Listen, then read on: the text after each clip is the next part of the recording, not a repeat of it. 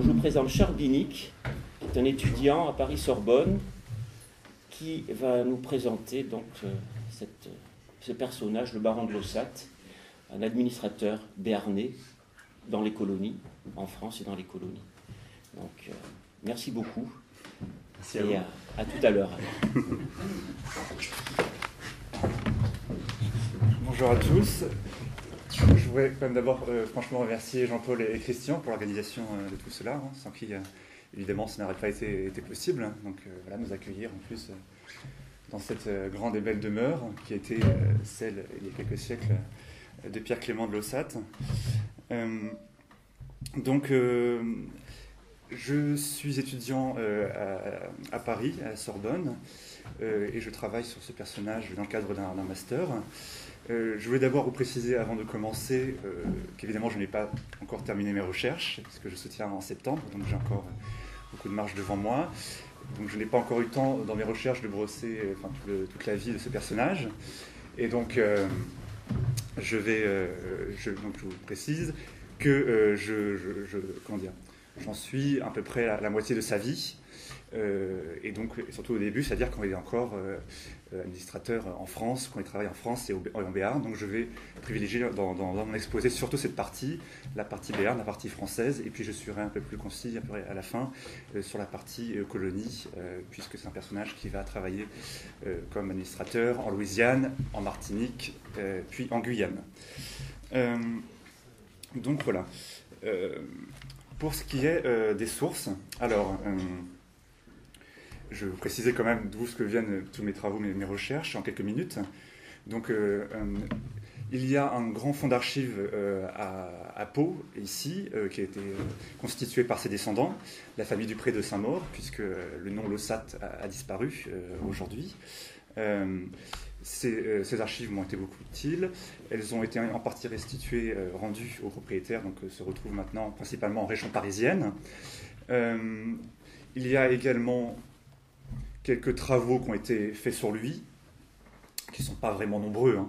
Euh, il s'agit de, travaux principalement anciens, mais euh, on va dire qui s'intéressent à des parties de sa vie de façon très ponctuelle. Donc j'ai collecté une importante bibliographie également. Donc ça c'est un deuxième point. Et en troisième point, il a rédigé des mémoires euh, qui sont en partie inédites, puisqu'il a publié uniquement la partie qui consacre les colonies, donc la deuxième moitié de sa vie, la partie du 19e siècle. Donc, euh, et l'autre partie est restée à état de manuscrit que malgré tout j'ai pu consulter. Donc euh, je pourrais vous confier des anecdotes croustillantes parce qu'il aime beaucoup euh, se confier même sur des choses qui ne le valorisent pas forcément. Et donc voilà. Et donc il y a très peu de gens qui, qui ont eu la chance de consulter, de consulter ces sources, voilà, ces mémoires. Donc voilà.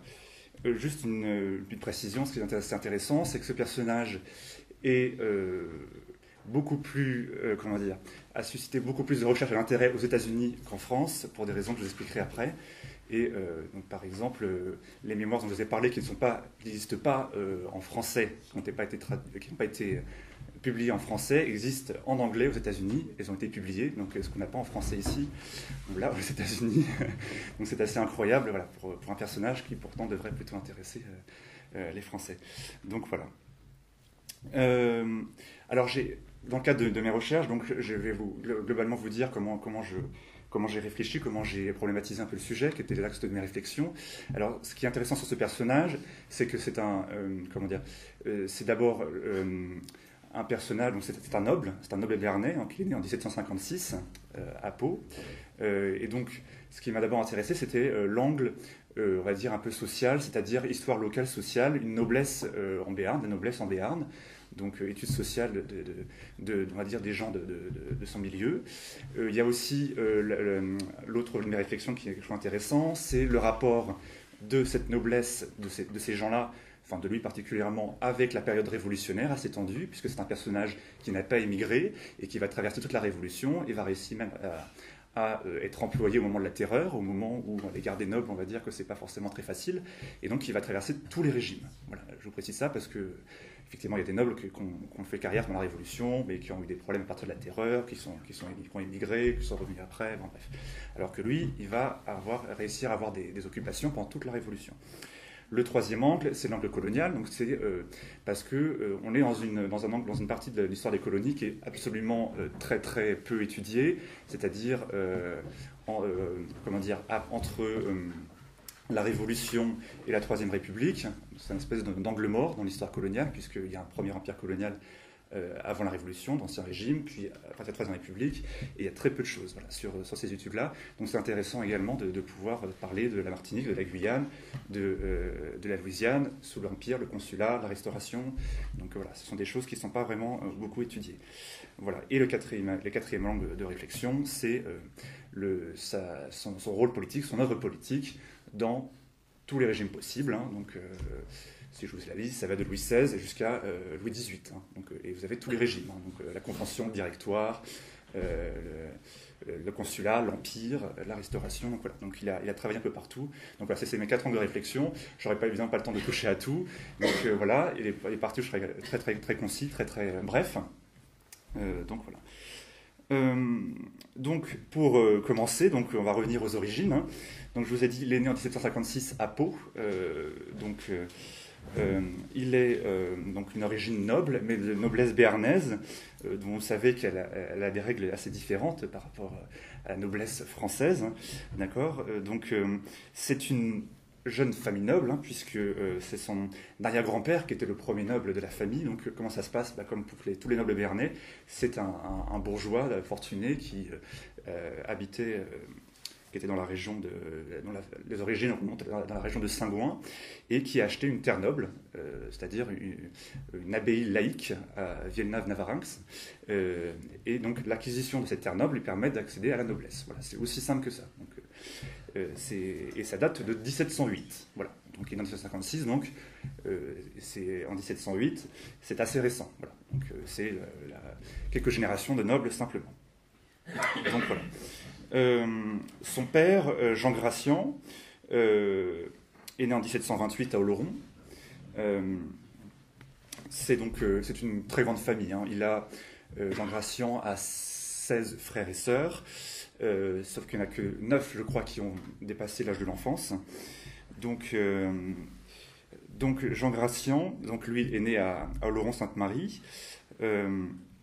c'est une famille assez, assez élargie. Vous avez euh, des, ramifications des cousins. Donc vous avez de l'Ossat à l'époque à Maslac, euh, vers Orthez. Donc, euh, donc voilà, c'est assez. vous avez des, branches un peu partout. Nous, on va s'intéresser au, au Lossat de Villeneuve d'abord. Hein. donc, donc, donc voilà. donc. si vous voulez, donc son père est un, est, et, donc, propriétaire de cette abbaye de, de, de. Donc, au moment où euh, Pierre Clément naît, donc euh, c'est là où il commence son, enfance, sa, vie. Euh, cette famille a un rôle déjà politique important puisque l'acquisition de cette terre, en fait, l'abbaye de, de, de, de permet d'avoir un, accès, au corps de la noblesse aux États provinciaux, aux États généraux de la province. Donc, euh, Jean Gracian, et puis son, père, son grand-père, étaient euh, donc également euh, membres de l'ordre de la noblesse aux États, aux États provinciaux. Donc, donc c'est, déjà quelque chose, ils avaient déjà un, certain rôle politique. Je rappelle que les États provinciaux servaient principalement à régler la question de l'impôt dans, dans, le Béarn. Il y avait d'autres, rôles, mais c'était le, principal. Donc voilà, de façon plus ou moins indépendante. Après, évidemment, le pouvoir royal, c'est toujours de, on va dire, de, de, piquer un peu les, responsabilités, les prérogatives de, ces États provinciaux. Euh, donc voilà.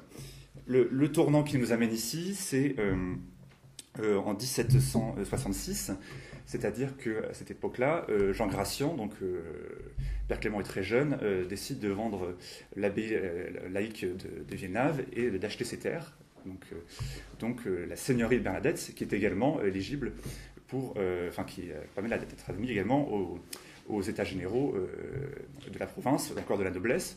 Sauf que là, Jean Gracian n'est plus abbé laïque, mais seigneur, seigneur de Bernadette, donc avec un autre statut. donc voilà. Jean Gracian, lui, avait au départ hérité d'un office royal, hein, qui était secrétaire, secrétaire du roi en la, en la chancellerie de Navarre, qui était on va dire, un office plutôt, plutôt honorifique. Et, là, et il a acheté un, office beaucoup plus important, à peu près au même moment que l'achat de Bernadette, sur les années 1764-65, l'office de trésorier receveur général alternatif donc, de la province, c'est-à-dire qu'il était chargé de collecter la partie euh, de l'impôt, de la réunir, la partie de l'impôt qui partait pour les caisses royales. parce qu'il y a un impôt qui est collecté pour la province, pour l'administration de la province, et lui était chargé de réunir l'impôt pour euh, les caisses royales. Donc voilà. Et donc cette charge est importante puisque euh, il y a avoir un, souci de la faire, de la transmettre après à Pierre Clément. Donc ça c'est très important. Donc voilà. Donc il est à la fois Jean Gracian de Lossat, donc il est à la fois député, enfin on va dire euh, membre de l'ordre de la noblesse aux États provinciaux, et puis euh, officier royal chargé de la collecte de l'impôt. Euh, parlons maintenant un peu de, Pierre Clément en tant que tel. Donc, né en 1756. donc, il est, il, a une éducation, pour résumer, assez, assez austère, à l'écart de ses parents, très influencé par les jésuites. Donc, euh, mais toujours à l'écart de ses parents, d'abord comme ça se faisait à l'époque chez une nourrice, euh, dans une, chez la nourrice. Donc lui, euh, il était parti à Gand. Ensuite, il est allé, il a été envoyé chez son oncle à Naï, donc chez la, belle famille, c'est-à-dire que c'est la famille d'Augereau, donc c'est-à-dire la, femme de Jean Gration, donc la maman de, Pierre Clément, qui était la famille d'Augereau, dont je vais parler un peu plus tard. Euh, donc voilà. Et puis ensuite, également chez un autre cousin, un peu plus tard, euh, quand il avait à peu près 7-8 euh, ans, à Salise en Béarn. Donc, donc voilà, il est éduqué, on va dire, chez des cousins de cette façon. Et puis, il a fini par revenir, passer un peu de temps avec ses parents, avant à nouveau d'être renvoyé chez un autre cousin à Salis, il il en avait plusieurs. Euh, et là, il va être pris sous l'aile d'un euh, euh, d'un jésuite, donc, qui va lui faire une éducation personnalisée, qui va lui apprendre notamment le latin et la philosophie. Donc, donc voilà.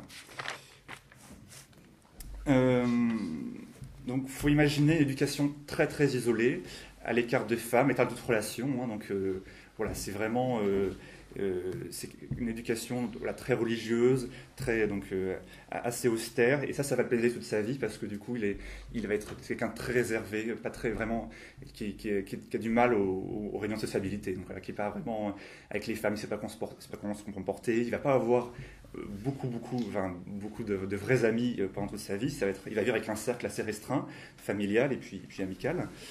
Donc voilà. Donc voilà, par exemple, euh, c'est intéressant, il explique que qu'il n'a jamais appris à danser, donc quand il est adolescent, c'est gênant quand, il va à des, soirées dansantes ou à des balles. La seule musique qu'il connaît, c'est un cantique que jouait un, prêtre jésuite dans une église auquel, il, était. Donc voilà, il, a, pas, il, est très très limité en termes de, choses à son temps. Euh, donc voilà. Euh, ça nous amène en 1772. En 1772, donc il, euh, il, rentre chez ses parents. Donc là, on est à Bernadette, effectivement. Euh, et donc, euh, son père a comme ambition de, de, comment dire, de l'envoyer dans un, dans un collège, donc continuer un peu sur cette voie-là. Il veut qu'il reste sous l'influence d'éducation des jésuites. Mais Pierre Clément va lui faire un, un petit faux pas, puisqu'il arrive à euh, se faire euh, accepter à l'université euh, de Pau en faculté de droit, donc qu'il intègre au début de l'année 1773. Donc, voilà, et puis il va apprendre le droit romain, le droit civil, canonique, tout se fait en latin, à part le droit français, les cours sont en français.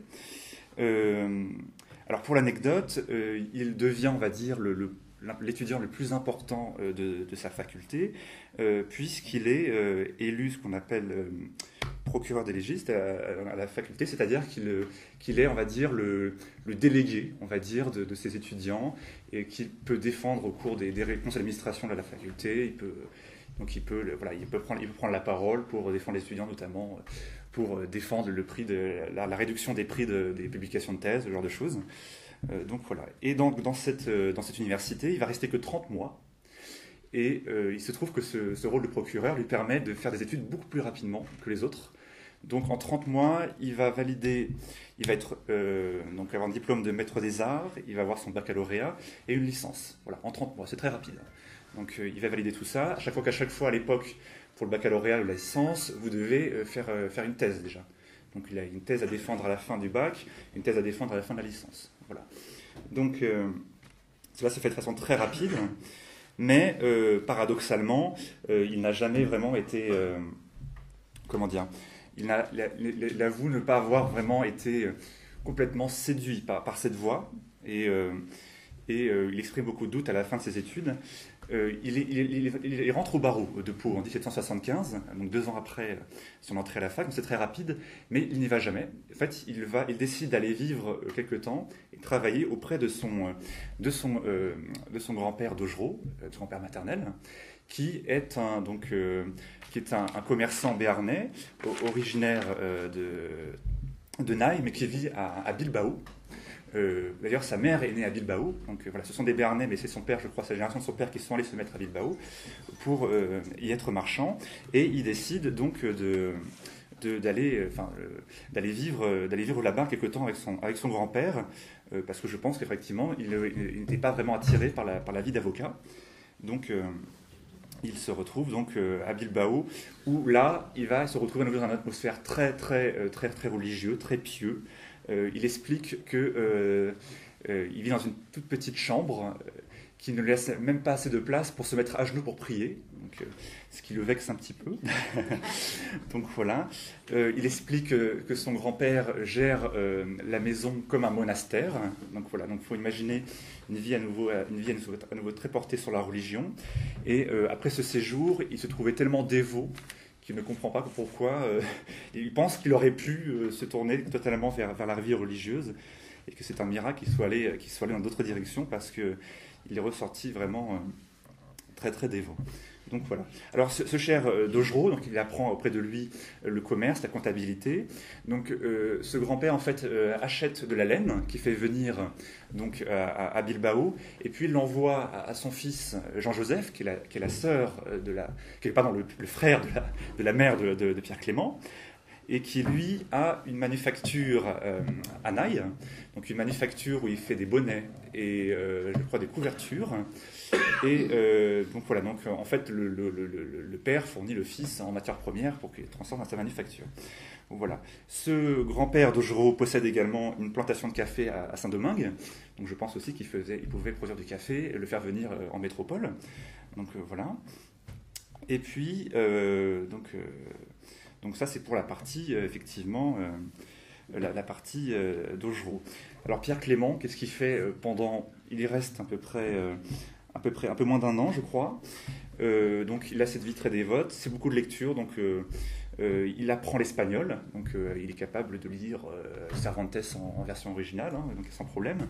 Donc après, ça va être très utile pour la suite, je vous expliquerai pourquoi. Et donc il rentre un an après, donc on est en 1976, après près d'un an, il rentre il rentre euh, en Béarn euh, et il va rendre visite du coup à son oncle qui, euh, je vous disais, à la manufacture qui transforme la laine en vallée d'Osso, où il possède mines et forges de fer, donc assez importantes. donc, voilà, ce s'appelait les ferges de Béon. Voilà. ensuite, donc, on arrive toujours au fait que Jean Grasson se demande qu'est-ce que je vais faire de mon fils. Euh, Pierre Clément, comme beaucoup d'autres, à ce moment-là, exprime le désir d'aller à Paris. Paris, ça doit être, c'est toujours à l'époque un, peu un tournant, c'est-à-dire qu'on va, on va essayer vraiment de, de, faire des études approfondies sur des sujets. Euh, donc, euh, donc voilà. Sauf que ça, c'est la, vision de Pierre Clément. Jean Gratian envoie à Paris, donc là on est en 1777, Jean Gratian envoie Pierre Clément à Paris pour l'envoyer dans un euh, comment dire, dans un, dans un, dans, un, monastère, si vous voulez, qui s'appelle Saint-Magloire à Paris. Euh, donc en fait, dans un séminaire, si vous voulez. Voilà. Sauf que pas pour une formation, euh, je pense pas pour une formation évidemment d'ecclésiastique, mais parfois des laïcs pouvaient être envoyés également là-bas pour, poursuivre une formation auprès de, donc, de, ces gens-là. Donc voilà, c'était à l'époque, c'était totalement influencé par les oratoriens à l'époque, Saint-Magloire. Sauf que Pierre Clément, donc, qui est envoyé là-bas seul, hein, eh bien, fait faux bon à son père. Alors, il prétend que son père n'a pas réussi à l'intégrer. à l'intégrer dans, le séminaire, dans ses mémoires, mais j'ai regardé dans les correspondances et en fait, c'est absolument pas ça, tout était prêt, hein, mais il n'a pas voulu y aller tout simplement. Et euh, il a préféré euh, rejoindre euh, un, hôtel privé à Paris. Si vous connaissez un peu Paris, il se trouve à côté de la place des Victoires, au croisement que cela fait avec la rue Étienne Marcel aujourd'hui. donc c'est un hôtel, j'imagine, déjà assez assez important. Il retrouve un cousin, c'est un cousin qui lui a dit voilà, moi j'habite là, rejoins-moi. Euh, donc voilà. Et euh, c'est vu de toute façon totalement indécente, c'est-à-dire que les, gens, les témoins bernais qui préviennent Jean Gratien, ils, expliquent que euh, c'est terrible, cet hôtel, c'est un hôtel parisien, c'est un peu, voilà, je sais pas, on pratique le libertinage, genre de choses, c'est un peu, un peu un lieu de débauche, enfin je sais pas, bref. Donc ça inquiète beaucoup. Et donc, alors que, effectivement, son, son père avait quand même prévu de l'envoyer au séminaire, donc c'était un peu une autre ambiance. Voilà, bon, qu'est-ce que va faire Pierre Clément? Eh bien, Pierre Clément, il ne sait pas absolument pas ce qu'il va faire, donc il fait tout. Pierre Clément va étudier l'anatomie, la chimie, l'histoire naturelle, la botanique, la physique, euh, et donc tout ça, avec des gens, avec des, parfois des, personnages illustres à l'époque, hein, des gens qui vont devenir des, grands spécialistes de botanique, euh, d'histoire naturelle, hein, qui, donc qui sont des, futurs, euh, spécialistes de, de leur science. Donc voilà. Euh, donc. Euh, c'est des, cours, qui sont très chers. Hein. Ça peut vous coûter à chaque fois 150 livres par cours. À l'époque, c'est très, très important. Pour vous donner une idée, euh, Pierre Clément a droit à 4000 livres par an de, pension. Donc, avec tous ces cours à 150 livres, ça monte très très vite. donc voilà. Parmi euh, euh, pendant ses études, il va rencontrer quelqu'un qui euh, va devenir un grand ami, qui, qui, est assez connu, qui s'appelle Palassou, hein, qui est un naturaliste béarnais, qui rencontre là-bas et qui fait également, qui travaille beaucoup à, Paris, qui fait des allers-retours entre Paris et les Pyrénées, ou les Pyrénées, où il fait, où il fait des, des, collectes pour ses études. Donc voilà. à Paris, sa pension lui est donnée par un personnage très important, qui s'appelle Jean-Étienne Penn, qui est un, un Bernais, originaire de la, ville de Buros, et qui est le collègue de euh, Jean Gracian, parce que les deux personnages ont même office, donc ils sont tous les deux collecteurs de l'impôt en Béarn, sauf que Jean Gracian s'occupe des années impaires, et Jean-Étienne Penn des années paires. Voilà. Donc en fait, une année sur deux, voilà, il y en a qui, les deux travaillent. Voilà. Sauf que euh, ce Penn-là, lui, décide de travailler depuis Paris. Voilà. Et il a un frère donc, euh, alors c'est compliqué les peines. Donc moi, pour simplifier, je vais vous dire euh, le frère cadet, ça va être le, peine, euh, ça va être peine le cadet, et le frère aîné, ça va être peine l'aîné, parce qu'ils ont, ils ont quasiment les mêmes prénoms, c'est impossible à retenir, c'est très compliqué. Et donc vous avez un peine l'aîné qui est à, en Béarn, qui est, et, un peine le cadet qui travaille à Paris, et donc qui, qui travaille, on va dire, qui se partage un peu l'office, si vous voulez. Officiellement, il y en a un qui est propriétaire de l'office, l'aîné, et le cadet, lui, est le celui qui, euh, comment dire, qui euh, porte la charge officiellement. Et c'est important parce que ce, collègue Penn, qui a le même office que Jean Gracian, euh, donne, donne quasiment, on va dire, je crois que c'est très régulier, la pension de Pierre Clément pour qu'il vive. Et donc Pierre Clément doit aller voir toutes les semaines ce gars-là. Il doit aller voir toutes les semaines pour recevoir un morceau de sa pension. Et donc voilà. Donc c'est quelqu'un qui a une très importance dans la famille, mais de façon un peu inattendue. Je vous l'expliquerai un peu après. C'est pour ça que j'ai voulu tout de suite vous, euh, vous en parler. Alors, euh, dans tout ça, euh, quand même, a une grande préférence pour la botanique. Donc, c'est les cours qui se fait le plus, qui multiplient le plus. il se retrouve à suivre parfois les expéditions de, ses maîtres dans les forêts de Meudon, de Montmorency, aux régions parisiennes. Et il est fait même une fois dans une expédition jusqu'en Auvergne, où il va partir pendant des mois, à l'été 1779, pour effectivement faire des collectes voilà, de euh, pour, pour, la botanique. Voilà. Donc, il est très, très spécialisé, expéditions un peu champêtres, comme ça. Il, va voir Versailles, il va voir Meudon. Euh, donc, voilà. Vincennes. Donc, voilà. Euh, il a. alors, c'est intéressant dans sa vie parisienne, c'est que il a des, il a des, idoles qu'il qui, qui, qui, va tout prix voir. c'est un grand fan de Rousseau. Euh, et coup de chance, son cousin, donc l'hôtel dont je vous parlais, euh, dans les hôtels, où euh, ses, cousins habitent, se situe vraiment juste à côté de chez Rousseau, si bien qu'il pouvait l'épier depuis, depuis, la fenêtre, depuis sa fenêtre. Et, Et il pouvait le regarder notamment en train d'écrire euh, ses textes, composer de la musique.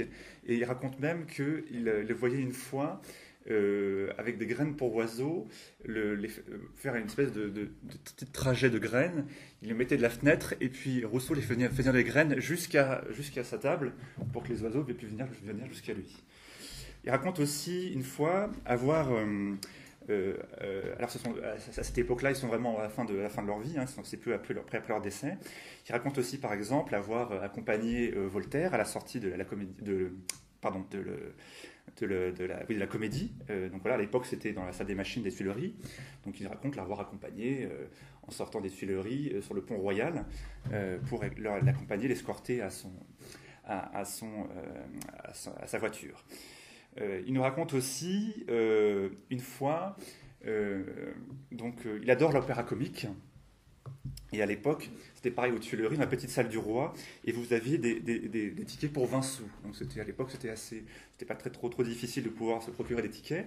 Et il raconte d'ailleurs que parfois il y a tellement de gens de foule qui vont qui vont essayer d'acheter ces tickets qu'une fois qu'il s'est retrouvé noyé, bousculé dans la foule, et, euh, et qu'il a été bousculé, tombé par terre, je crois, et les gens le, piétinaient, et il appelait à l'aide, et puis il explique que euh, l'empereur d'Autriche, rien que ça, euh, Joseph II de Habsbourg, qui est le, frère de Marie-Antoinette, aurait à ce moment-là haussé le ton et demandé laissez, ce jeune homme sortir. je n'ai évidemment pas pu vérifier si l'anecdote est réelle, mais voilà, je, pense que c'est possible, puisqu'effectivement, vous aviez à l'époque des gens de l'aristocratie euh, française ou euh, étrangère qui venaient assister euh, aux Tuileries, dans, la petite salle du roi, à l'opéra comique. Donc voilà. Pierre Clément est un grand, grand bibliophile. il va collecter pendant son séjour parisien énormément de livres. sa, sa, pension de 4000 livres par an est quasiment exclusivement consacrée. Euh, il, il explique d'ailleurs que quand il va rentrer, il va avoir complètement dépassé sa, pension, il aura beaucoup de dettes quand il va rentrer en Béarn euh, chez son père. Euh, par exemple, sur une personne, un cousin, il a consacré, il a, une dette de 6000 livres, pour une, juste avec une seule personne, donc c'est très important. Donc il achète et il lit du Montaigne, du Montesquieu, du Mably, il adore aussi euh, le Tacite en version originale parce qu'il s'amuse lui-même à traduire le, latin, le Tacite. Donc, euh, il aurait peut-être pu vendre après d'ailleurs des, traductions, j'en sais rien. il s'essaye à d'autres choses. Il s'essaye à, la peinture. Donc, euh, il, essaie d'intégrer l'atelier du peintre parisien Prudon. Mais il, avoue qu'il est très mauvais. Il, est très sincère, ce genre de choses. Hein. Il est très mauvais, donc il, ne persiste pas. Il essaie à l'escrime, il dit qu'il est très mauvais également. Euh, le violoncelle, n'en parlons pas. Euh, donc, euh, voilà. il se sociabilise parce que son, son, père a des, Il y a beaucoup de Béarnais déjà qui sont à Paris. Donc la, moindre venue d'un Béarnais est l'occasion d'aller dîner avec lui, de se faire inviter. Donc voilà, mais également se sociabilise auprès de la société parisienne grâce simplement au fait du réseau de son père, en fait, hein, qui, a également des réseaux parisiens, notamment autour du, ministère de, euh, le contrôle général des finances à l'époque, hein, puisque c'est le ministère dont dépend euh, Jean Gration avec son office. Euh, donc voilà. Et donc, il se retrouve à, avoir des dîners avec, des banquiers, des receveurs généraux, même une fois à contre, avec un valet de la Chambre du Roi. Donc voilà. Il est également, euh, son père également l'introduit euh, chez une famille à Rouen, dans euh, la famille Plante-Rose à Grainville. Donc c'est important parce qu'il va faire des, belles rencontres aussi là-bas. si vous voulez, par exemple, dans, cette, demeure, il va rencontrer par exemple l'ancien chancelier de France Maupoux, qui était un grand ministre de Louis XV, et qui s'avère être, comment dire, assez proche euh, on va dire, pas, proche des LOSAT, mais proche, on va dire, de la. C'est très politique tout ça, mais de la, de la, tendance politique de l'époque, puisque euh, Maupoux avait fait une réforme des parlements et en gros, il avait changé les personnels des parlements de, beaucoup de, parlements de France, notamment de Pau. Et il se trouve que euh, les LOSAT ont profité de ce renouvellement, donc c'était en les années 1765, je crois. Et donc les LOSAT sont connus pour être dans la mouvance Maupoux, c'est-à-dire de, l'époque des parlements de voilà. Et, euh, donc, euh, Et, donc, les Lossat sont connus pour être proches de, Mopou et de son parti. Voilà. Donc, c'est quelqu'un, du coup, que, que, voulait à tout prix rencontrer, que Pierre Clément voulait à tout prix rencontrer. ça nous amène en 1780. juste avant de rentrer en Béarn, Pierre Clément euh, désire participer à un concours de l'Académie française qui consiste à faire la biographie de Sugère, donc qui est un euh, personnage politique ecclésiastique du XIIIe siècle, je crois, je ne voudrais pas dire de bêtises. Et euh, l'objectif de, ce concours, c'est de faire, de faire l'éloge de, de Sugère. Donc, et il décide de, se lancer et il publie, il publie son travail. C'est la première chose qu'il écrit. Hein, donc, voilà, mais euh, il constate lui-même, avec le recul dans ses mémoires, que c'était euh, assez peu abouti, euh, historiquement pas, très, terrible, c'était pas bien écrit, donc voilà. Donc il a évidemment, il n'a pas réussi à remporter le, concours. donc voilà. il adore Rousseau, donc il fait par exemple, après la mort de Rousseau, il fait un sport de, voyage romantique sur ses traces, il, va il va à Genève, voilà, donc c'est assez intéressant. Et d'ailleurs, il fait, euh, il republie son ouvrage, euh, il republie son ouvrage à Genève, son éloge de Sugère, en y ajoutant une, adresse aux États généraux de la province, parce que je crois que dans, une de ses œuvres, Rousseau faisait également des adresses à des, assemblées ou à des, corps comme ça politiques. Donc voilà. Ça nous amène en 1781. En 1781,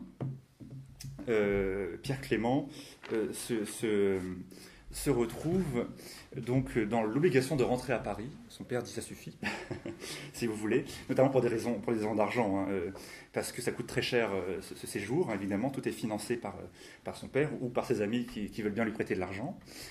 Il rentre donc en Béarn, à Bernadette, chez ses parents, et c'est là qu'il y a un premier tournant de sa vie. son père donc peu après qu'il rentre, vraiment quelques semaines après, quelques mois après, son père apprend que son office a été supprimé. Voilà, il perd son office. Alors c'est quelque chose d'assez grave, hein, puisque c'était là où il avait, des gages annuels très importants. Hein. Et il se trouve que, en fait, son office a été fusionné avec celui de son collègue et donné à son collègue, Penn.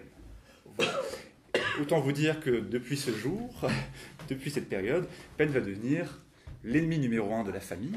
Donc voilà. Donc le, celui, enfin, euh, celui dont, euh, allait rendre visite euh, toutes les semaines, voilà, qui, qui est très, proche de la famille. Donc voilà. C'est évidemment vécu comme une trahison. Tout ça a été fait parce que c'est ce peine-là qui a motivé. C'est un édit royal hein, qui a supprimé le, qui l'office, et c'est ce monsieur qui a motivé, qui a préparé, qui a envoyé des mémoires, donc qui, avait projeté évidemment de de, de, créer un nouvel office, et, voilà, et donc euh, a provoqué la chute euh, de, Jean Gratien, si vous voulez. Voilà. Et euh, ce que va faire Jean Gratien, c'est qu'il va décider que son fils va aller défendre sa cause à Paris et à Versailles. Donc à peine rentré, il est renvoyé directement là-bas.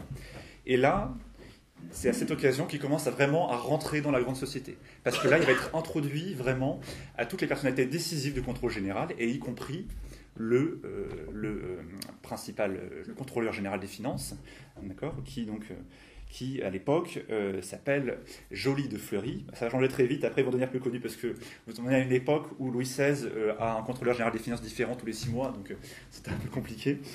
Donc voilà. il est envoyé, il est donc ses proches, sa famille l'introduisent. Il, il, a beaucoup, notamment, il a son futur, euh, son futur beau-père, euh, qui est aussi un cousin, qui s'appelle Pébord, euh, a beaucoup, beaucoup de, contacts là-bas. Donc, par exemple, il va introduire auprès des bureaux des communes du contrôle général, et parmi eux, vous avez un certain Gaudin, qui va être ministre des Finances du consulat de l'Empire, donc de 1799 à 1815, qui va être un, qui va être un personnage décisif de, ce régime. Donc voilà, il est introduit auprès de la famille de Gramont, qui est à Paris et qui est très proche de la cour, donc notamment auprès de la, comtesse de Gramont euh, à l'époque, qui euh, est très proche de, de, la cour. Euh, donc voilà. le président du Parlement de Béarn, qui, évidemment, qui s'appelle Duplat, qui vit à Paris également. Donc voilà. Donc il va vraiment être, être voilà, vraiment là-dedans. Et après trois ans de bataille, où il va produire des mémoires. Il va profiter de l'arrivée d'un nouveau ministre, qui est plus connu, qui s'appelle Calonne, donc euh, en 1783, euh, fin 1783, pardon. Donc voilà, et c'est après de Calonne qu'il va obtenir le, le, justice, on va dire. Et ce qui va se passer, on va dire cette bonne guerre, c'est que finalement l'office unifié qu'avait obtenu le, Peine va être finalement donné à Pierre Clément de Laussat. Voilà. Donc, c'est-à-dire que de cette façon, il va hériter indirectement de l'office de son père. Il faut imaginer que c'est un office très important. Alors, c'est un office qui a été élargi parce que Penn, pendant ses, affaires, a fait quelque chose qui a beaucoup profité au Lossat, c'est qu'il a sorti vraiment euh, cet office du cadre du Béarn. C'est-à-dire que euh, Pierre Clément devient receveur, donc il va collecter l'impôt royal en Béarn, dans la Soule, la Bigorre, la région de Montmarsan, Saint-Jean-de-Luz, Bayonne, donc c'est une région très élargie. On sort vraiment du Béarn. Hein. Voilà. Donc c'est une, grande, une grande, une grande euh, administration euh, sous, son aile. Donc voilà. Euh, donc à partir de, ce moment, là, ça devient très important. Alors l'office qu'il achète, donc c'est un office qu'il va acheter quand même, hein, coûte 400 000 livres. C'est c'est très très important pour l'époque. À titre de comparaison, l'office de son père, il avait acheté 60 000 livres. Donc ça n'a rien à voir. Et vous avez évidemment des gages chaque année qui sont très importants. Donc, c'est en partie financé par la liquidation de l'office de son père, parce que du coup, euh, euh, quand vous supprimez un office, vous rendez l'argent euh, qui a permis de l'acheter à son propriétaire. Donc, sauf que Jean Gratian, très malin, a, comment dire, revalorisé son office. Donc, il avait acheté 60 000, et au moment de la liquidation, il en touche 120 000. Donc, voilà, donc il a réussi à doubler le prix. et donc, et par d'autres petites combines, finalement, ils arrivent à ne payer que 250 000 livres directement. Il n'empêche qu'ils doivent se surendetter hein, pour, euh, pour arriver à financer cet office, mais qui du coup est ultra décisif parce qu'à ce moment-là, là, vous rentrez vraiment dans la société, vraiment dans la société. Euh, Pierre Clément fait la même stratégie que les Pennes, c'est-à-dire que lui, il se base à Paris, il travaille à Paris, et son père a une procuration pour monter un bureau euh, dans la région de Pau. voilà, et son père va recruter des commis, des secrétaires, donc il y a tout un personnel pour les Lossat qui vont être payés grâce aux gages qu'ils reçoivent. Hein. Euh, donc voilà, et euh, donc euh, ça, va, ça va être la carrière de l'OSAD jusqu'à la Révolution. Donc receveur général des finances, enfin receveur général donc de, de Pau et de Bayonne. Voilà. Donc il va travailler comme ça, ainsi jusqu'à la Révolution. Donc voilà. Et là, à Paris, Pierre Clément, là, ça devient vraiment très sérieux. il s'intègre vraiment à la société. Euh, il, est introduit auprès de, grandes dames de cour. Par exemple, Madame de Saint-Éan, euh, qui euh, a un logement rue de Gramont, l'emmène, enfin l'invite à dîner autour de personnalités comme Mirabeau, par exemple. Donc, et il raconte d'ailleurs dans ses mémoires qu'il est fasciné, il écoute avec attention tout ce qui se dit dans ses dîners. donc voilà. et aussi beaucoup de, grands personnages à l'époque, des, grands banquiers ou des, personnages importants aux finances. Voilà. Euh, ça nous amène à, euh, la Révolution, euh, qui effectivement va tout bousculer. Donc à ce moment-là, il vit à Paris, notre ami Pierre Clément, où la Révolution commence, ou va commencer. mais la, proximité, l'arrivée des États généraux le pousse à rentrer, à rentrer à, en Béarn, parce que il a pour ambition euh, de euh, se faire élire aux États généraux de Versailles, ce qui est une belle ambition hein, pour l'époque. Donc, euh, donc voilà. Il rentre en Béarn, et la première étape pour lui, c'est, pour commencer, de rejoindre déjà les États provinciaux de Béarn. Parce qu'en Béarn, ce sont les États provinciaux qui choisissent les représentants des États généraux de Versailles. Alors, il ne se fait pas d'illusions sur l'ordre de la noblesse, c'est impossible parce qu'il sait que euh, la députation à la noblesse à Versailles, euh, les députés de la noblesse béarnais à Versailles, cela va être, euh, comment dire, les, plus grandes familles, les plus célèbres qui vont être sélectionnées. Voilà, donc, par exemple, le, duc de Gramont va être député béarnais de la noblesse à Versailles. Donc, lui, ce qu'il cible, c'est le tiers-État. Et ça, c'est tout à fait possible, puisqu'à l'époque, euh, pour être euh, élu du tiers-État aux États provinciaux, il faut que vous soyez un jurat, c'est-à-dire un officier municipal. Et ses offices s'achètent également. Or, son père en détient un depuis 1773, c'est l'office euh, de maire de Morlas. Donc, euh, quand il arrive à, en Béarn, il obtient de son père de lui céder cet office, et en même temps, au cas où, euh, de lui céder la seigneurie de Mocor. Parce que, j'ai oublié de préciser au début que, dans l'année 1770, Jean Gracian, après Bernadette, a également acheté la seigneurie de Mocor. Donc, ce qui fait que les deux pourraient, être en même temps aux États provinciaux. Euh, Pierre Clément pourrait être seigneur de Maucor et euh, Jean Gratian, seigneur de Bernadette, c'est tous les deux pourraient siéger en même temps aux États provinciaux de Béarn. Voilà. Mais ce qui intéresse euh, Pierre Clément, c'est le tiers état du coup. Parce que la noblesse, ça n'amènera à rien. Donc, il est maire de, de Morlas, grâce à son père, et du coup, se fait élire effectivement au début janvier 1789 euh, aux euh, États généraux de la province d'abord. Je dis ça, c'est important parce qu'il y a eu beaucoup de confusion sur Pierre Clément et il y a beaucoup de, personnes dans les articles qui ont considéré que Pierre Clément était allé à Versailles en tant que député, ce qui, je vous dis tout de suite, n'est jamais arrivé. Donc, euh, Pierre Clément se fait lire aux États généraux de province, sauf qu'il faut voir qu'au début 89, il est hors de question pour les Béarnais de députer à Versailles. Hors de question. Ils n'ont encore jamais fait. Les États généraux euh, précédents, qui avaient eu lieu euh, au XVIe siècle, euh, pardon, au XVIIe siècle, pardon, ils n'avaient pas député. et donc, il va falloir trois sessions aux États généraux de province pour se décider. Donc la décision va être prise en juillet, nous sommes en janvier. Hein. En juillet 89, c'est-à-dire deux mois après le début des États généraux à Versailles, on décide seulement d'envoyer des députés le Béarn décide. Voilà. Sauf que le problème, c'est qu'entre chaque session, il faut réélire les, députés de la province. Donc à la fin de la session de janvier, eh bien, la, session ferme, et donc du coup, euh, Pierre Clément n'est plus, euh, n'est plus euh, député du tiers-État aux États provinciaux. Voilà. Or, à la deuxième session, quand on fait les nouvelles élections, il n'arrive pas à se faire réélire. Donc c'est-à-dire qu'en fait, il est même évincé du tiers-État simplement de la province.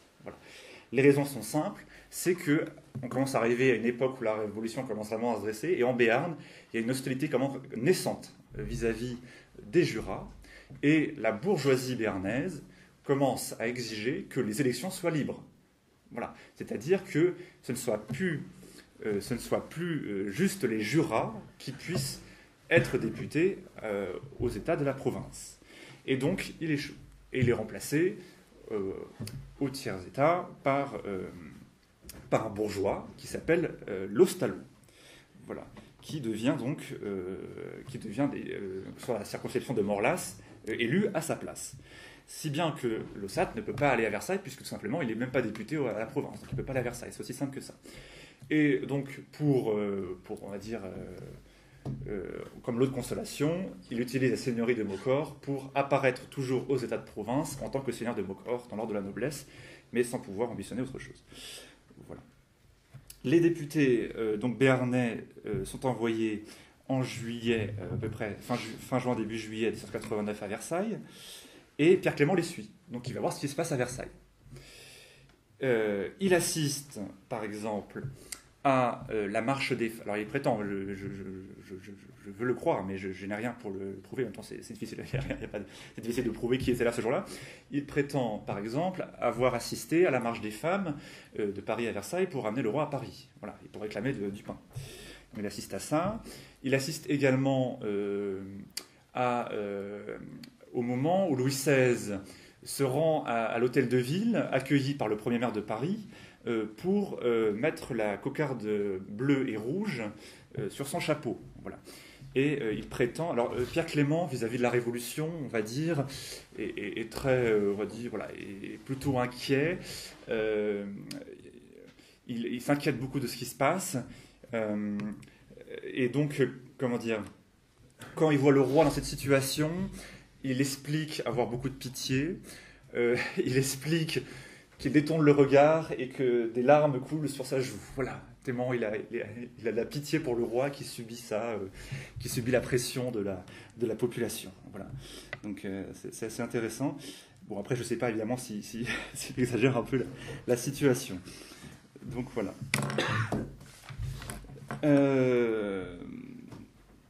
donc, la Révolution l'inquiète au point qu'il décide de quitter Paris. Il abandonne Paris à la toute fin de l'année 89 parce qu'il commence ça commence à devenir un peu menaçant. En plus, on l'a obligé à euh, s'enrôler euh, dans la garde nationale parisienne, ce qu'il n'aime pas trop. Il est assez petit, hein, il mesure 1m55. Euh, or, si vous regardez à l'époque, il faut, par exemple, si je prends l'armée, l'armée, l'armée de la Révolution, si vous voulez, crois que c'est le minimum, c'est 1m54. Donc, il est vraiment au minimum, minimum pour être soldat. Euh, il va également, il est contraint, contraint de s'inscrire à ce qu'on appelle la, section euh, de la ville, une section parisienne, qui en plus, alors comme il est dans le quartier euh, à l'époque, il a déménagé rue, de Comartin. Et c'est le quartier où va se créer le fameux club des Jacobins, puisque le, couvent de l'ancien domaine des, des, des, comment dire, pardon, c'est voilà, dans le, dans le coin le club des Jacobins dans le coin. Et donc, euh, et donc il sent voilà, que les choses commencent un peu à se tendre. Surtout, le fait est que quand il est inscrit dans sa section, il se retrouve, c'est aussi une circonscription administrative pour l'impôt, et donc du coup, il va être contraint de payer ce qu'on appelle la contribution patriotique à l'époque, qui est un impôt qui est créé pour, euh, uniquement pour les riches, pour, pour remplacer euh, les anciens impôts qui ont été supprimés aux États généraux. voilà, donc il décide de partir. alors, il part avec beaucoup de choses. Hein. Donc là, il, s'imagine que c'est un retour définitif. Hein. Donc il part avec des, nombreuses charrettes, il, emporte tout. Hein. Donc euh, j'ai des traces, c'est tiré par des bœufs, par des mules, par des. Donc c'est vraiment très, euh, très important. Et euh, lui, il reste un peu, donc il envoie avant lui toutes ses affaires. C'est intéressant parce que à l'époque, il, y, a beaucoup de tensions déjà, et au Béarn, on a beaucoup peur déjà du, complot de la noblesse. Alors les gens font courir, enfin il y a des gens qui font courir que euh, le monsieur de Lossat amène par charrette euh, en Béarn de l'artillerie. Si bien que quand, les, quand c'est les gens qui l'a payé pour amener ces, chariots, euh, donc on a des traces qui expliquent que des, villageois, des, citoyens, des habitants des villages de Bernadette, mais également d'Iguière, se sont coalisés et armés pour recevoir ces charrettes, au cas où effectivement ils serviraient à armer les aristocrates de la région pour préparer un soulèvement. On savait évidemment qu'il n'y avait rien de tout ça là-dedans. Voilà. Euh, donc voilà, lui, il rentre euh, à la fin, à fin décembre 89 euh, dans la région et voilà. Et donc, et, un peu paniqué. Effectivement, quand il va revenir, les affaires vont être parfois un peu tendues. Il y a des moments vraiment un peu tendus. Par exemple, pendant la fuite de Varennes, euh, en plus, avec le décalage des nouvelles, effectivement, qui arrivent jusqu'à Pau, donc tout est, un peu décalé. Euh, il y a beaucoup de paranoïa, et par exemple, à ce moment-là, on a peur du complot de la noblesse également. Donc pendant la fuite de Varennes, euh, la municipalité de Bernadette, les municipalités voisines, le menace d'envoyer des gardes nationaux pour l'arrêter, pour l'emprisonner. Donc voilà, donc il y a des moments où quelqu'un vient prévenir et puis lui dire attention, on, va vous arrêter, machin. Donc à ce moment-là, il part à cheval, il va se réfugier chez de la famille à côté, dans des châteaux, il va se cacher quelques jours. Et puis quand on apprend finalement que le roi a été rattrapé et ramené, à Paris, et ben à ce moment-là, euh, il n'y a plus de danger. Voilà. Donc voilà. Euh, dans cette période de tension, euh, il se marie avec la fille de son, de son, de son ami euh, Péborde. Euh, c'est aussi des cousins, donc il a, il a une dispense de consanguinité puisque c'est sa cousine au quatrième degré. Donc euh, il été l'évêque, l'évêque de l'Escar, qui est la plus haute autorité ecclésiastique du Béarn à l'époque, lui a donné une dispense pour qu'il puisse se marier avec sa cousine. Voilà, on est en 1790 à peu près. Donc voilà, son office est supprimé. Effectivement, la Révolution fait qu'il n'y a plus d'offices royaux. Hein. Donc voilà, et il va avoir un nouveau rôle, c'est-à-dire qu'il va y avoir l'équivalent, euh, c'est-à-dire payeur de département, c'est-à-dire que ça va être l'équivalent, mais sauf que ça va être à l'échelle du département, effectivement, il va être euh, collecteur de l'impôt. Donc voilà. Euh, donc voilà. il va ensuite, avec l'avancée de la Révolution, il va être ensuite utilisé comme payeur de l'armée des Pyrénées. Donc la guerre éclate avec l'Espagne. À l'époque, en 93, la France est en guerre contre toute l'Europe. Bon, et là, la guerre qui le, le plus le Béarn, c'est la guerre avec l'Espagne à l'époque. Et donc, il va être payeur de l'armée. Donc, il faut imaginer qu'en fait, si vous voulez, il a une caisse qui lui est confiée et qui lui sert à payer les soldes de tout le monde. Voilà. Donc, à cette période, le problème, c'est qu'on arrive en 93, et à la fin 93, c'est la période de la terreur, et là, si vous voulez, toute la noblesse euh, devient, devient euh, suspicieuse, on va dire. Et donc, toute sa famille est inquiétée. Une partie de sa famille sont arrêtés, déportés. Euh, son père, par exemple, est, déporté. On l'éloigne au maximum de, des villes où ils sont originaires. Lui-même est inquiété, lui-même est arrêté, est emprisonné. Euh, sauf que euh, on constate, alors les gens qui, même les plus révolutionnaires, hein, les, plus, les, plus, les plus montagnards, on va dire, savent qu'il est trop important. Il est trop important parce que son rôle, par exemple, l'impose parfois à faire des avances ses propres fonds. C'est tout à fait possible. Et donc il faut que quelqu'un qui soit assez fortuné à l'époque, qui puisse avoir cette charge. Donc finalement, on va le garder. Donc il est libéré grâce à un, représentant en mission en plus, un représentant en mission qui milite pour le libérer. Donc un représentant en mission, c'est un député de la Convention. Euh, à l'époque, en plus, il s'appelle Moinestier, hein, qui était quelqu'un quand d'assez euh, plutôt montagnard, assez zélé. Hein, c'est Jacobin d'ailleurs qui va être inquiété à la fin de la terreur parce que justement il aurait commis des, exactions nombreuses. Et donc il va être euh, réadmis à l'armée dans, sa charge après une, petite, frayeur quand même. Donc voilà. Euh, et puis la guerre se termine avec l'arrivée du directoire. L'arrivée du directoire, donc c'est un régime qui commence en 1995. La guerre se termine, la paix est faite avec l'Espagne. Et là, et là, au directoire, vous avez beaucoup de députés béarnais qui sont doloreux. Et ces députés euh, béarnais d'Oloron ont un seul rêve, c'est au directoire, aux chambres à Paris, aux chambres de, parisiennes, aux assemblées parisiennes, c'est de, faire, de, militer, de faire une loi pour que le chef-lieu de département ne soit plus Pau, mais Oloron. Là, en 1795, ça c'est une grande affaire. Donc, et ces gens vont militer auprès du Conseil des Anciens, du Conseil des 500. Donc on est en 1795, au tout début du directoire. Et, euh, et donc il y a ce projet, effectivement. Donc euh, euh, Pau a été choisi à la création des départements en 90 comme, chef-lieu. Et ces gens-là, qui sont, plutôt, qui sont tous quasiment, principalement d'Oloron, militent pour, pour justement changer ce, ce chef-lieu. Voilà. Pau donc, décide de nommer Pierre-Clément de Lossat comme député extraordinaire pour aller défendre le, Pau comme chef-lieu au sein des assemblées parisiennes. Et c'est là qu'il va se faire connaître euh, euh, des chambres euh, là-bas et, des politiciens à Paris. Ça va marcher, ça va marcher, et du coup, Pau va rester le chef-lieu déterminé pour, pour, pour cela. Voilà. Et, c'est important pour lui parce que ça va le faire connaître auprès de, de, la vie des, politiciens euh, parisiens qui, viennent siéger à Paris. Et donc, juste après, alors deux ans après, en 1797, euh, il est élu député au Conseil des Anciens, donc il est l'une des deux chambres justement euh, de, du, directoire. Vous avez deux chambres, le Conseil des Anciens, le Conseil des 500. Donc si vous voulez, c'est un peu le, c'est un peu le, Conseil des Anciens, c'est un peu notre Sénat d'aujourd'hui, si vous voulez. Hein à l'époque. Et donc il est élu en tant que député euh, euh, de Pau euh, là-bas en 1797. voilà. Alors c'est particulier parce que c'est, il est élu avec une vague plutôt monarchiste. Le directoire est beaucoup plus est beaucoup moins, est beaucoup moins, on va dire, radical que, la période de la terreur. Et donc, vous avez une vague monarchiste, plus ou moins monarchiste, qui arrive aux chambres. Et la réaction du directoire, c'est de faire un coup d'État, un coup d'État pour annuler, on va dire, une grande partie des élections, une grande partie des élections, euh, parce que justement, il considère qu'il y a trop de monarchistes, donc c'est un peu dangereux, si vous voulez. Mais Pierre Clément en réchappe. Parce qu'en fait, il est élu dans cette vague, mais il n'incarne pas trop. Voilà, parce que je pense que lui a compris, il a plutôt compris qu'il fallait se fondre dans la Nouvelle-France, il fallait se rallier à l'idée de, république finalement. Donc il n'est pas, euh, pas dans l'idée voilà, d'un retour du roi, ce genre de choses. Voilà. Cependant, il désapprouve ce coup d'État. Et du coup, euh, il le désapprouve.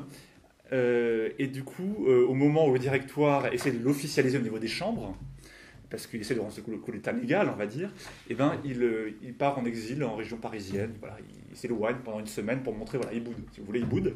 Mais le directoire ne le trouve pas menaçant. Donc, c'était assez sévère à l'époque, parce qu'à l'époque, les, gens la plupart des gens qui voulaient les élections annulées pouvaient subir la guillotine sèche, c'est-à-dire que vous envoyez en déportation en, Guyane, où vous avez peu de chances de survivre. Euh, donc voilà.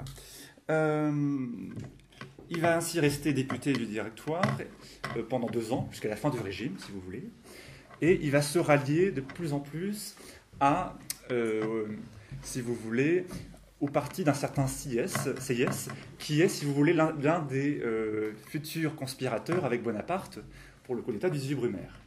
Donc il va de soi dans cette mouvance-là qui cherche, si vous voulez, à réformer ce directoire, à le changer un peu. Euh, donc voilà, euh, parce que parce qu'il considère que c'est un régime qui ne vit qu'avec des coups d'État, euh, en annulant des élections, en déportant des opposants. Donc euh, c'est un régime qui, il est très à cheval sur le droit constitutionnel et il considère que ce régime viole tout le temps la constitution de son régime. Donc il considère que, voilà, que ça, ne fonctionne pas. Et il est ce qu'on appelle un, révisionniste, c'est-à-dire il veut réviser euh, le système politique.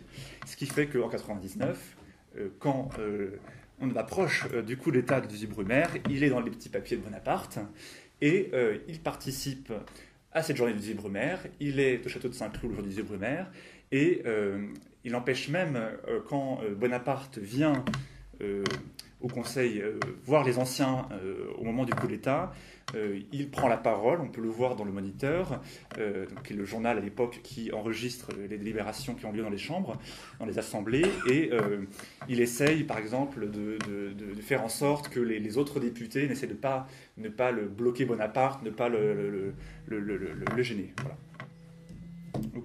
pardon. Euh, donc, euh, il est donc un complice important, et ce qui fait qu'il est très vite dans les papiers de Bonaparte. Le coup d'État réussi évidemment en 99, et il est invité à Bonaparte à rejoindre une commission chargée de rédiger la nouvelle constitution. Donc, euh, à la fin 99, début 1800, il participe à la rédaction de la constitution du, consulat, hein, qui va créer le consulat. Et euh, Bonaparte le nomme ensuite membre et président du tribunat, qui est l'une des chambres, que, nouvelle chambre que crée euh, Bonaparte, mais qui ne va pas beaucoup plaire à l'OSAT, puisque c'est une chambre qui n'est uniquement chargée de donner des avis sur des lois. Voilà. C'est une, chambre qui discute les lois, mais qui ne les vote pas. Voilà, si vous voulez, pour résumer. Et donc, s'il va se lasser, il rêve de devenir sénateur mais euh, Bonaparte ne va pas à cette demande et finalement il obtient de Bonaparte d'être envoyé comme préfet colonial de la Louisiane parce que l'Espagne vient, euh, qui est la nouvel allié de la France, vient de lui donner la Louisiane. La Louisiane à l'époque, faut que vous la représentiez, c'est à peu près le tiers des États-Unis d'aujourd'hui, hein. c'est à peu près une quinzaine d'États américains, toute la bande centrale, donc ça va du Grand, du grand Nord américain, de la région des Grands Lacs, et ça va jusqu'à la Nouvelle-Orléans au sud. Donc c'est très important. Il y est envoyé euh, à la fin de l'année 1802, euh, début 1803, préfet colonial. Donc voilà, il va y rester qu'un an parce que euh, Napoléon décide de vendre la Louisiane aux États-Unis euh, assez vite. Donc il reste une petite année, c'est assez rapide. Puis, après cette vente de la Louisiane, donc était plutôt, c'est plutôt une vexation pour lui parce qu'il pensait vraiment faire carrière là-bas. Hein. Il a amené sa femme, il a amené ses enfants, il a plusieurs enfants. Donc voilà, il, va avoir trois filles, trois filles, un garçon. Donc voilà. Après la vente de la Louisiane, Bonaparte qui n'est pas encore devenu Napoléon, mais qui va le devenir, euh, le nomme préfet colonial de la Martinique. En plus, c'est pas très loin, c'est pratique. Donc, euh, il passe de la Louisiane à la Martinique. Il est préfet colonial pendant 5 ans. Donc voilà. Également avec sa femme et sa fille, mais qui euh, ne supporte pas le climat et qui rentre assez vite. Donc, il se retrouve assez seul. Et à vrai dire, je pense que c'est mieux parce que en 1809, au bout de 5 ans, la, colonie est prise par les Anglais. Donc il, il vit l'invasion de la colonie par les Anglais. Il est fait prisonnier il est envoyé comme prisonnier en Angleterre. Alors, pour quelqu'un de son milieu, c'est pas, pas trop terrible. Il est prisonnier sur parole, c'est-à-dire qu'il est prisonnier dans une ville, il, il, est libre de circuler, il a juste un rayon de déplacement maximum. Donc voilà. Il va y rester un an à cette vie de prisonnier. Euh, on va dire prisonnier plutôt tranquille, hein, il peut vivre comme il veut, hein. il n'y a pas de problème. Au bout d'un an, il est échangé avec un officier britannique qui revient en France. Et là, il va voir Napoléon pour lui demander un nouveau travail. Voilà. Et Napoléon euh, donc le reçoit euh, et décide de le nommer préfet maritime d'Anvers. Qu'est-ce que ça veut dire? C'est un, préfet chargé d'une circonscription maritime et sa mission à l'époque est de euh, chercher à faire en sorte que le, blocus continental soit bien respecté. Le blocus continental, c'est l'idée que Napoléon veut empêcher l'Angleterre de commercer avec l'Europe, ce qui d'ailleurs explique en partie toutes ses conquêtes. Et donc, euh, la Belgique, notamment à l'époque, est une région conquise par la France. Le port d'Anvers est l'un des plus grands ports européens. Et, euh, euh, et, donc le, rôle de veiller la bonne gestion de ce blocus, qui est très souvent contrarié par, par, de, par la contrebande notamment. Donc voilà. il va y rester quelques temps, puis ensuite l'empereur va le nommer préfet en Belgique, à Mons, préfet de la Belgique, donc là c'est préfet classique, hein, où il va rester jusqu'à l'invasion de la France par les Cosaques, donc, euh, notamment, euh, en 1814, ce qui va l'obliger à fuir. Voilà. Il fuit donc euh, vers la France, il rentre chez lui, si vous voulez, et à ce moment-là, le régime, l'Empire chute, tombe, et euh, la Restauration, le nouveau roi Louis XVIII, considère qu'il s'est trop compromis avec l'Empire pour, euh, pour euh, pouvoir être conservé en poste. Napoléon revient, c'est les 100 jours. il est élu à nouveau député au à, la, Chambre des 100 jours, hein, qui est donc du régime, député à nouveau du Béarn, hein, donc des Basses-Pyrénées à l'époque. Euh, et donc euh, participe pendant les 100 jours, il va à nouveau siéger à Paris, puis c'est Waterloo, donc à nouveau, la chute euh, de, Napoléon. Et là, la compromission des 100 jours a encore dégradé son cas aux yeux de Louis XVIII, qui donc refuse de lui donner une nouvelle tâche pour, pour, gouverner. Et donc ça va durer pendant 4 ans. pendant 4 ans. au bout de 4 ans, c'est oublié, on va dire.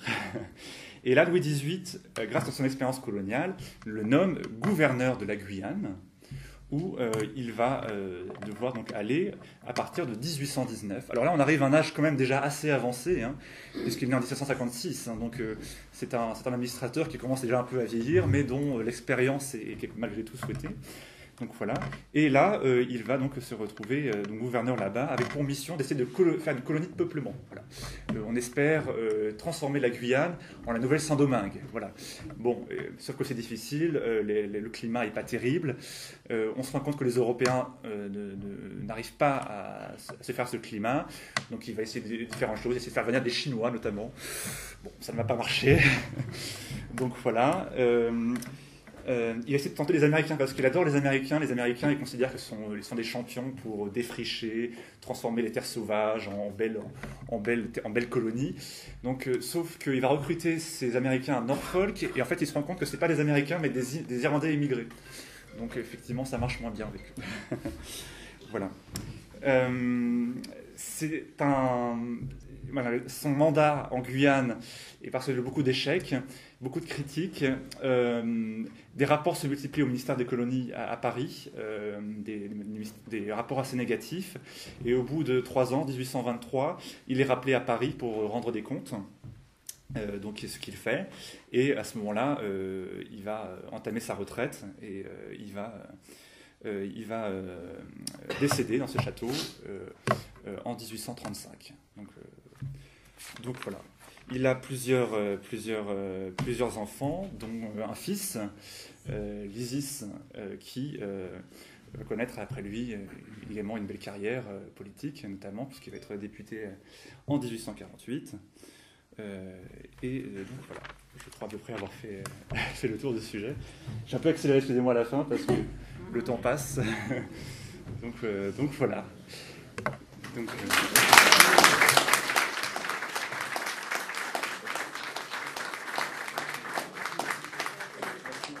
Attention. Et euh, voilà, et maintenant si vous avez des questions, voilà, n'hésitez pas évidemment à, poser des questions avant qu'on puisse euh, passer là-bas, puisse oui. Comment avez-vous été amené à, vous intéresser à ce personnage? Quel a été l'élément déclencheur? Alors, c'est un mélange un peu de, de, de, curiosité et de hasard. Alors, j'avais convenu avec... Euh, mon directeur d'études, qui s'appelle Jacques-Olivier Boudon, à, la Sorbonne, est un spécialiste de l'époque de l'Empire un spécialiste de Napoléon, également spécialiste de la question entre relation État et religion euh, en France, donc euh, notamment de l'époque encordataire entre, entre 1801 et 1905. Et euh, on avait convenu de faire une biographie. Et donc, par rapport à cette spécialité, j'ai choisi de prendre, de prendre un, politicien qui, a, qui, a, travaillé sur le régime du consulat et de l'Empire.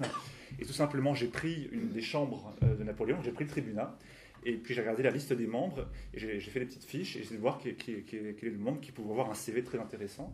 Et j'ai fait une petite liste, on va dire. Et dans cette liste, j'ai mis Pierre Clément de Lossat parce que, en plus des autres, il avait toute la, partie coloniale, particulière coloniale. Et j'ai envoyé ces six noms. Et c'est lui qui m'a dit sur les six, c'est Pierre Clément ça qu'il faut le faire, c'est plus intéressant. Vous avez en plus des fonds d'archives conséquents, donc vous allez vous amuser, ça va être parfait. Voilà. Et du coup, j'ai suivi son choix et voilà. Et du coup, je suis amusé, effectivement. Voilà. Vous avez des questions si vous voulez je précise, oui, il y a une partie. Tout d'abord, je voudrais vous remercier pour cette excellente euh, conférence, ce très bel exposé. Euh, donc c'est une carrière au, départ euh, relativement classique. Hein. Bon, passage de la terre à la noblesse, bon, l'ascension, je veux dire, politique, sociale. Mhm. Bon, très bien.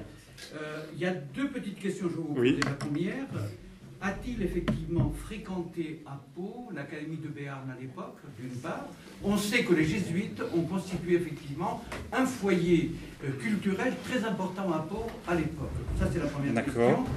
Et la seconde question, y a-t-il eu euh, dans la presse locale à l'époque, lorsqu'il était député, y a-t-il des échos de lui, non plus à Paris, mais au plan local? Voilà, les deux questions que je vous pose. D'accord petite dernière question. Vous nous avez dit qu'il euh, était allé donc à Bilbao. on est très bien mhm. renseigné sur, euh, je veux dire, la présence des marchands béarnais à Saragosse, mhm. bon, Cadix, euh, Séville. Beaucoup moins à Bilbao. Bon, il y a eu un autre béarnais qui a suivi la même trajectoire, qui est Jean Cassou. Il est juste à côté. D'accord. Voilà. Et vous avez dit que vous alliez nous en parler plus tard, et je n'ai pas vu le rapport parce que vous avez dit qu'il connaissait l'espagnol. Euh, appris l'espagnol. Oui, c'était pas par rapport. Je sais pas dit. Euh, j'ai pas entendu. C'est parce que par rapport à la Louisiane. quand il est arrivé en Louisiane, il était arrivé en Louisiane. Il a, il a, dû, il a, dû, il a été chargé de, de, récupérer la Louisiane de la main des Espagnols. Donc il était parfaitement bilingue à ce moment-là, et donc c'était aussi pour ça qu'il a été choisi par euh, Napoléon. Si vous allez à New Orleans, je dirais peut-être un jour, vous verrez que le, la mairie porte encore un nom espagnol, El Cabildo, c'est-à-dire, c'est le chapitre, c'est-à-dire la mairie. Voilà. Et, d'ailleurs, je vous ai parlé tout à l'heure du fait qu'il était, euh, il était euh, plutôt, un peu plus connu, je pense, aux États-Unis qu'ici. Il a une rue à son nom à Nouvelle-Orléans, également à San Francisco. Voilà. Donc, euh, alors qu'en France, vous avez une petite micro-rue à Pau, je crois, si vous y allez. voilà, donc donc il a, ces choses-là. Alors pour votre première question, je ne peux rien vous dire pour la question parce que je n'ai trouvé aucune source qui prouve qu'il était effectivement la cabine du Béarn. Je, ne peux pas vous le dire, je, n'ai aucune information à ce sujet. Je n'ai pas trouvé dans, les fonds euh, aucune mention à ce sujet, donc je ne peux pas vous le dire. Et lui-même ne s'en vante pas. Et je pense que si ça avait été le cas, je pense qu'il l'aurait évoqué dans ses mémoires. Or, il n'en parle jamais. Donc je ne pense pas, parce que je pense que c'est le genre de choses, on peut fièrement en parler, je pense, d'être assez proche de l'académie, je pense. Donc s'il le dit pas, c'est que j'imagine que voilà, il n'a pas, pas forcément été, euh, proche de ça. Et après, euh, pour qu'on ait été député, vous savoir si ce qu'il faisait. Les échos, les échos dans la presse locale, qu'est-ce qu'on disait de lui? Alors, on disait plein de choses, simplement parce que euh, dans sa vie politique de représentant de la nation, il s'écharpe tout le temps avec les autres députés béarnais. Tout le temps, tout le temps, tout le temps. Donc, parce que euh, surtout à l'époque directoire, alors consulat après ça va, mais à l'époque directoire, il faut voir qu'il est considéré comme un aristocrate par les autres. Or, il y a des lois qui sont assez strictes à ce sujet. Euh, en plus, il y a un, membre de sa famille qui était curé, qui a émigré, et vous aviez des lois, par exemple, qui disaient que euh, tout individu apparenté à un immigré ne peut pas exercer de fonction politique.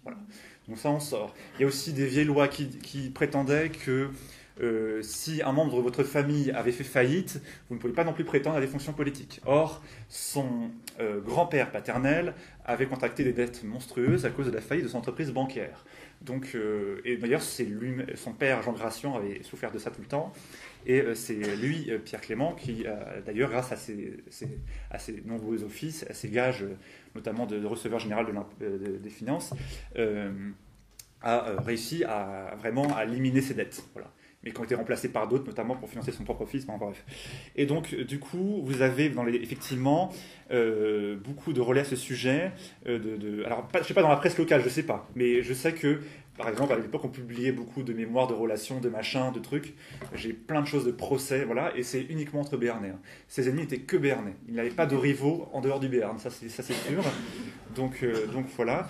Et par exemple, j'ai aussi des traces de, alors non pas de discours, parce qu'il y avait effectivement aussi des discours qui étaient un peu chauds euh, par, on va dire, par discours interposés aux chambres, mais il y avait aussi des lettres que les députés, que, les députés faisaient publier et distribuer dans les chambres. Donc, euh, donc j'ai des lettres comme ça, des lettres de l'OSAT à tête député, et puis envoyé à tous les députés, puis peut-être publié aussi, euh, envoyé dans les, publié dans les, euh, dans les provinces. Et puis je sais aussi qu'à la fin de ces procès, généralement, ont fièrement ont publié, ont affiché partout le, verdict de la justice, hein, le, verdict du tribunal. Donc ça, ici, il y a plein de traces, il y a plein de grandes affiches qui, traînent dans les archives. Vous avez ça.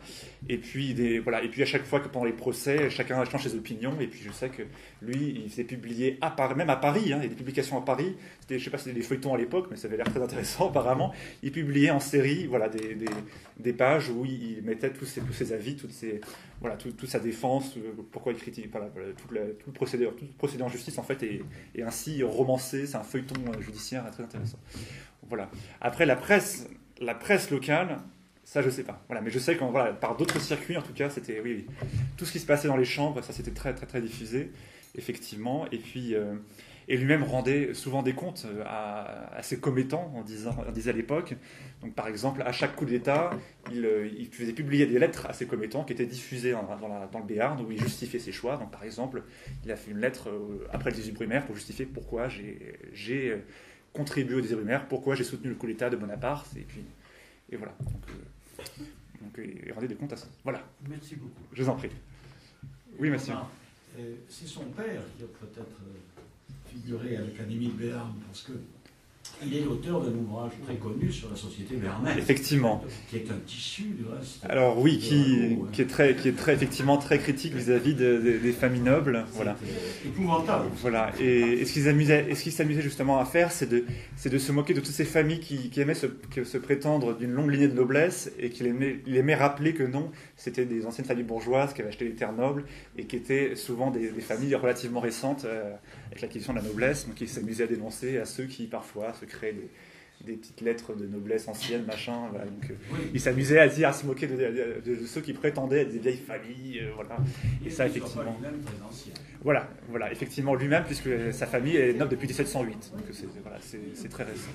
Alors, l'autre question, c'est toutes ces archives ont été conservées studieusement par la famille et vous avez trouvé un, très grand stock d'archives. Voilà, alors sauf que euh, en fait c'est euh, c'est une femme, cette famille, qui avait quasiment confié l'intégralité aux archives de Pau et son frère a considéré ensuite qu'il fallait en reprendre une partie.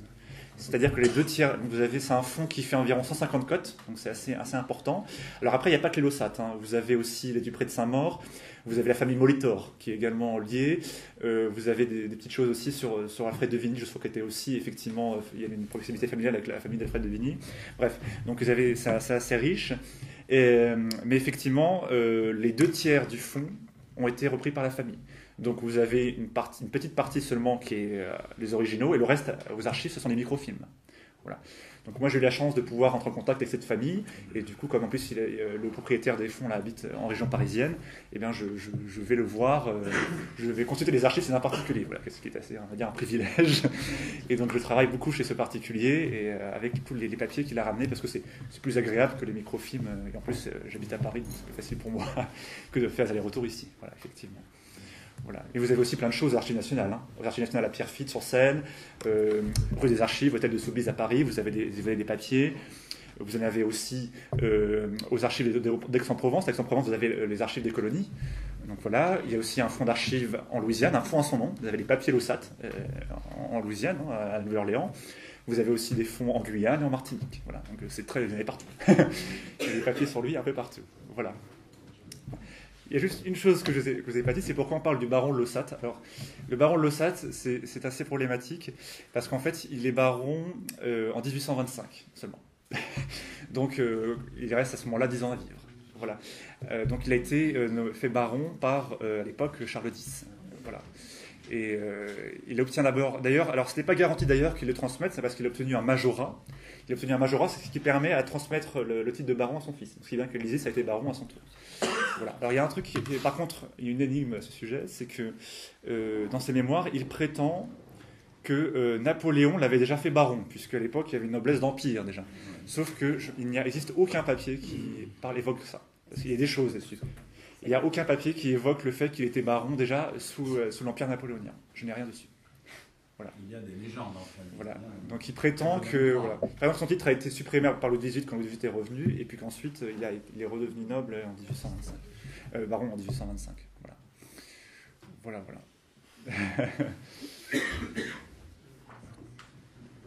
Est-ce que vous avez d'autres questions? J'ai une proposition à vous faire. Oui. Honnête. Voilà. Si vous avez du mal, peut-être, pour vous faire publier, je pense que vous êtes un Master 2. Exactement. Voilà. Euh, il y a une très belle revue dans cette région, fondée en 1841, euh, refondée en 1871. Elle a traversé le temps. Donc, euh, vous pouvez effectivement observer sa vitalité. Elle concerne l'EBA, c'est une figure centrale. Nous sommes tout à fait preneurs.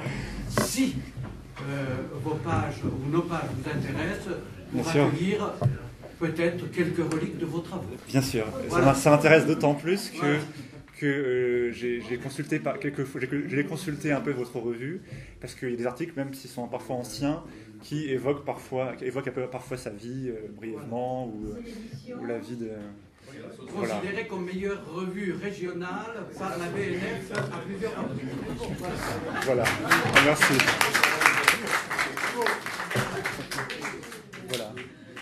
Donc du coup, bah, euh, je crois que je vais laisser Jean-Paul euh, éventuellement rediriger tout. Euh, parce qu'on va passer à la salle d'à côté éventuellement pour... voilà.